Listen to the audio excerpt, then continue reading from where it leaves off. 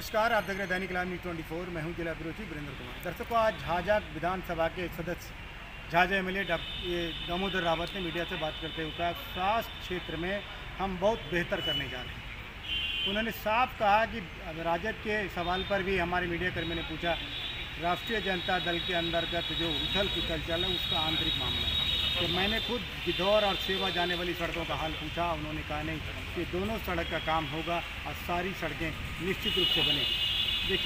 सरकार के द्वारा बहुत सारी ऐसे योजनाएँ हैं जिसको आप बखूबी जो है सोशल मीडिया और ऐसे भी अब बहुत सारे योजनाओं की जानकारी देते रहते हैं। तो मुख्य रूप से अभी आपके क्षेत्र में कौन कौन सी ऐसी सरकार की योजनाएँ हैं जिसका लाभ जनता तक पहुँच रहा है या उसके प्रयास में आप हैं?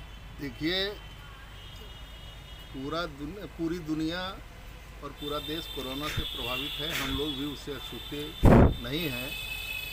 और इसलिए स्वास्थ्य क्षेत्र में हम लोगों ने काम करने का फैसला लिया। हमारी सरकार ने काम करने का फैसला लिया और आपको पता होगा कि बिहार सरकार ने अपने स्तर से एक हज़ार हेल्थ सब सेंटर, सह वेलनेस सेंटर निर्माण की प्रक्रिया पूरी कर ली है और हर एक विधानसभा क्षेत्र में एक एडिशनल पीएससी इससे इतर हमने अपने विधानसभा क्षेत्र और जमुई ज़िले में बहत्तर वेलनेस सेंटर की स्थापना की स्वीकृति राज्य स्वास्थ्य मिशन जो भारत सरकार का है, उसके माध्यम से दिलाई है और हम समझते हैं कि उसका भी काम जल्द ही शुरू होने वाला है। इसके अलावा कोरोना से बचाव के लिए भी अनेक प्रयास हम लोगों की सरकार के द्वारा हो रहा है। आपको पता होगा कि जमुई में अतिरिक्त बेड की स्थापना की जा रही है, ऑक्सीजन सिलेंडर की व्यवस्था की जा रही है और ऑक्सीजन का प्लांट भी जमुई में लगा है।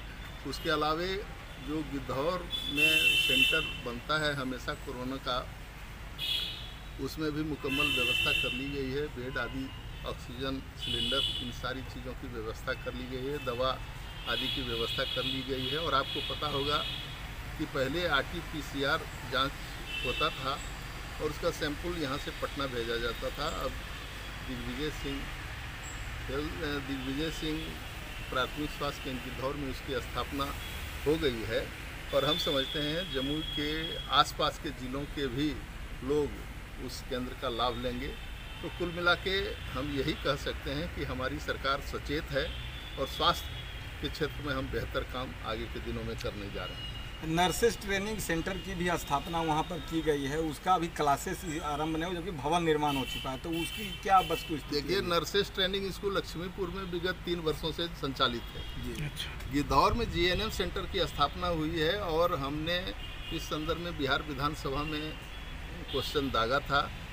तो सरकार ने लिखित उत्तर के माध्यम से यह बताया है कि इस सत्र से हम उसमें पढ़ाई शुरू करने वाली हैं करने वाले हैं और जब सरकार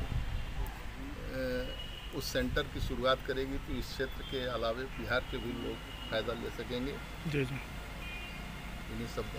जीएनएम तो सर एम इंदौर में स्टार्ट हो जो पूर्व प्रत्याशी रहे जो आपके विपक्षी रहे राजद के राजेंद्र यादव वो थोड़ा सा आरोप लगाते हैं कि मिली भगत से जो है वो जीत गए हैं हम हाईकोर्ट में केस किए हुए हैं। क्या ये कुछ सच्चाई है या क्या सिर्फ़ ऐसे अब तो मामला हाईकोर्ट में है इसमें तब हाईकोर्ट फैसला करेगा। हाईकोर्ट में ही मामला है।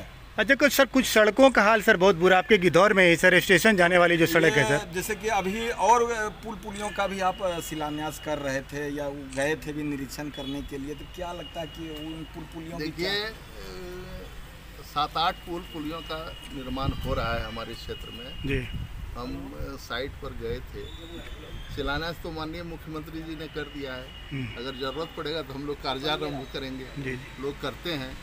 लेकिन उन सारे पुलों का काम शुरू हो गया है और वह सभी पुल इंटीरियर क्षेत्र में आपको पता होगा बाराकोला पंचायत संथाल बहुल क्षेत्र है। हम्म। और जुड़पनिया जहाँ कभी नक्सलों का केंद्र हुआ करता था नक्सलवादी लोग का केंद्र हुआ करता था जैसी कि बातें आती थी प्रशासन के द्वारा जी वहाँ आवागमन का कोई साधन नहीं था तो उस क्षेत्र को भी आवागमन के लिए एकदम सरस सरल बना दिया गया। है और वहाँ भी लोग आप किसी समय जा सकेंगे आ सकेंगे उस संदर्भ में इन पुलों की महत्ता थी।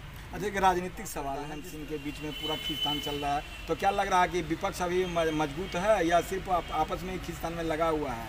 देखिए वह तो राजद का अंदरूनी मामला है। उसमें तो हम लोगों को कुछ नहीं कहना चाहिए वह उनका अंदरूनी मामला है।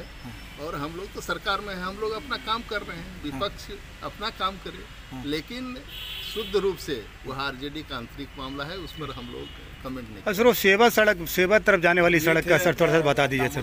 रावत जिन्होंने सेवा जाने वाली जो गिद्धौर जाने वाली सड़क है सर टेंडर प्रक्रिया में कहाँ तक क्या हुआ सर? है हैं अच्छा, ठीक है, सर।